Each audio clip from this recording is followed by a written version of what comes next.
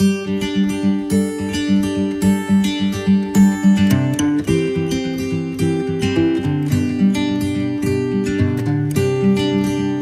Bernáticos! Dando continuidade aí às nossas receitas natalinas, tá? E no Cozinhando com a Lili de hoje, eu fiz um salpicão super simples e fácil de se fazer, tá? Com frango, com milho, com passas, com batata palha, que ficou uma delícia. Mas se vocês quiserem incrementar mais ainda essa nossa receita salpicão simples, é só você colocar os ingredientes que vocês acharem menor. Então, sem mais delongas, vamos lá para o vídeo do nosso salpicão de Natal. Vem comigo!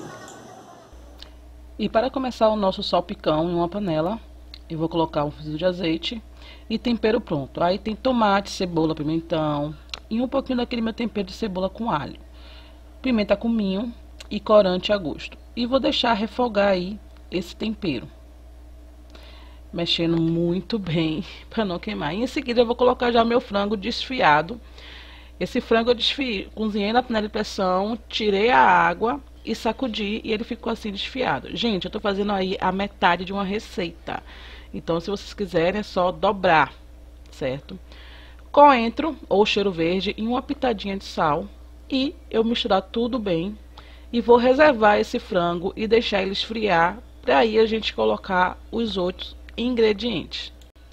Bom, meus amores, em uma vasilha eu vou colocar o nosso frango que a gente temperou e deixou ele ali reservado esfriando.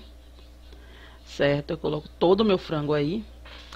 E em seguida eu vou misturar meia cenoura ralada Gente, é só vocês dobrarem a receita, tá? E misturo muito bem esse frango aí com a cenoura. E em seguida vou acrescentando os outros ingredientes, que é a uva passas, o milho, a azeitona e o queijo em cubo. Se vocês quiserem, pode colocar também ervilha, presunto, pedaços de maçã. Fica aí a critério de vocês qual é o seu recheio do seu salpicão, tá, meus amores? É, eu coloquei aí meio pacotinho daquele de 100 gramas do, de maionese, tá? Mas geralmente eu coloco é, equivalente a 4 colheres de maionese e 2 colheres de requeijão. Nesse daí eu não coloquei requeijão, mas fica a critério de vocês. Se eu sentir que está precisando de mais maionese, eu coloco mais um pouquinho. Porque eu não gosto muito daquele salpicão cremoso, tá? Mas aí a gente faz do jeito que a gente gosta.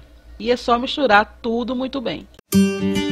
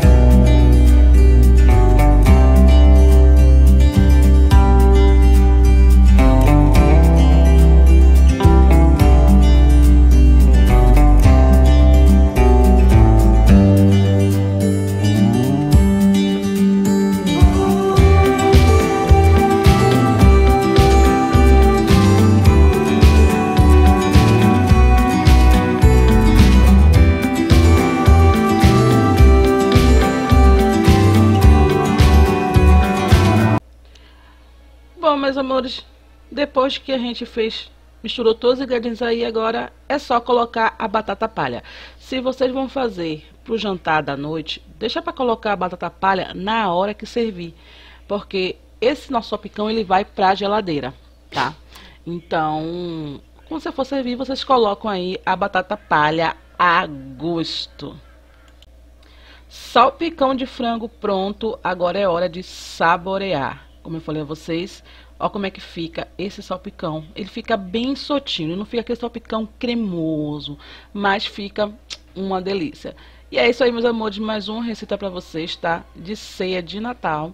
Espero ter gostado demais. Se gostou, compartilhe, dê like aí, se inscreve no canal e até o próximo Cozinhando com a Lili, porque agora eu vou saborear esse meu salpicão, certo?